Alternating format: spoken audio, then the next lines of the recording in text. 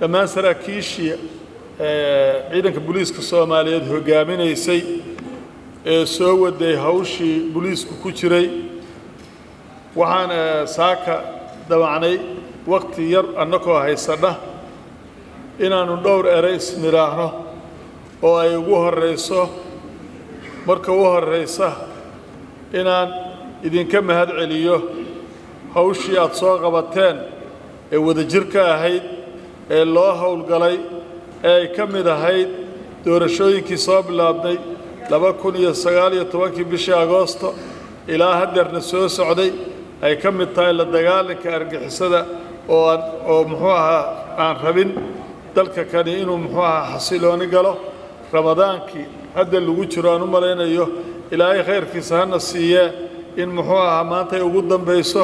howlihii saraakiishii iyo ciidankii intaa soo waday inaan u hambaliyeeyo una mahad celiyo haddaan ahay taliyaha ciidanka booliiska soomaaliyeed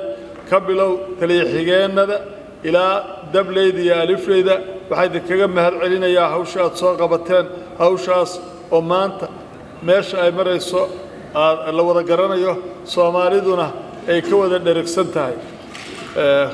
Qodobka labaadaan rabo inaan ka hadlo waxaa weeye isagana derdergelinta inaan weli doorashadii intii xooggeedii waannu soo dhaafnay inta yar ee noo dhiman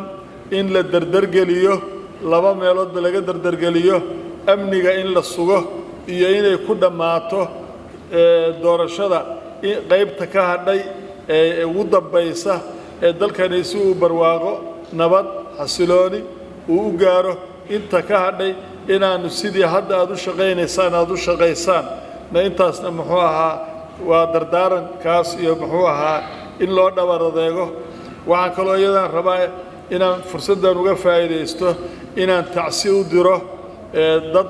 saraakiilahaa wakhti hore iyo wakhti dambe oo naga dhintay oo ugu horreeyo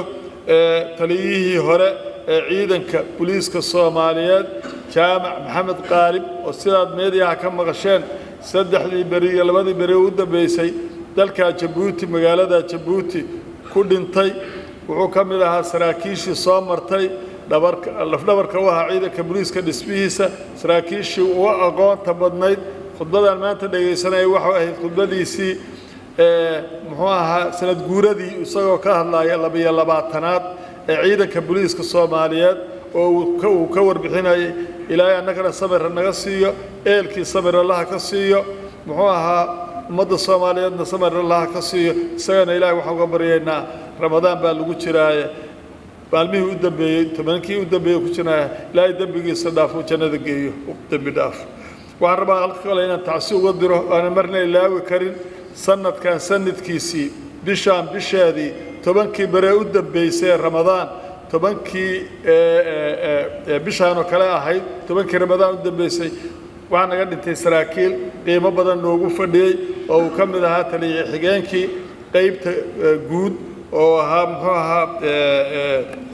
axmed cabdi weheliye waaweyne loo yaqaanay saraakiishii naga dhimatay. Waxaa ka mid ahaa cabdibaasi taliya xigeenka qaybta weligo caddo ahaa. Waxaa naga dhintay cabdulaahi baashane oo isna ahaa caloolay loo yaqaanay waxaana nagaga dhaawacmay saraakiil kalena waa nagaga dhacmay saraakiishaas ma aanaan ilaawin qalbigeennay ku xariran yihiin. Dahabshiil oo la jaan qaadaya isbeddelka tiknolojiyadda kuna fududaynaya hannaanka aad lacag u diri karto waxa uu hadda kuu soo kordhiyey in marka aad lacag dirayso aad ku bixin karto kaadhkaaga bangiga dhammaan xarumaha dahabshiil ee qaaradda yurub.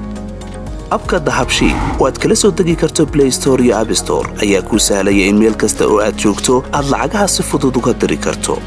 sidoo kale websayteka dahabshiil ayaad si fudud lacag uga dhex diri kartaa goob kasta iyo goor kasta. Lacag kasta oo aad dirto waxa uu qofkaad lacagta u dirtay sikima gudahoodu ku helayaa adeegga iidahab ee moobilkiisa gacanta. Waxaa loogu shubi karaa akoonkiisa bangiga dahabshiil amaba waxa uu ka qaadan karaa dhammaan ballaamaha dahabshiil ee dunida dacaladeeda dahabshiil howlfudaydiyahaaga maaliyadeed